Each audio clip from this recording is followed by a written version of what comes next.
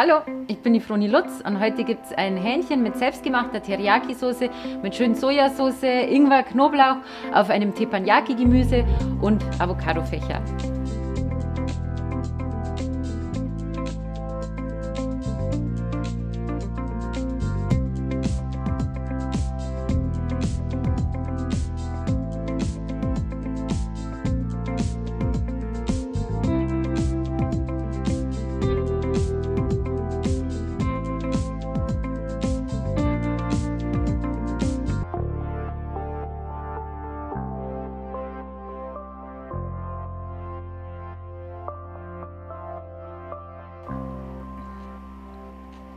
Das lohnt sich zum Nachkochen.